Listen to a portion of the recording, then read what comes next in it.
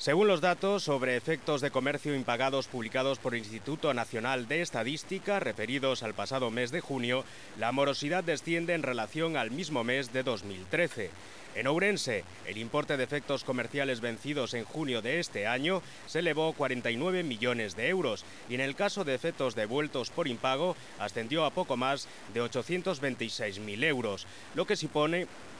lo que supone un descenso del 25%, ya que la cifra total de impagos en el año anterior fue de 1,1 millones de euros.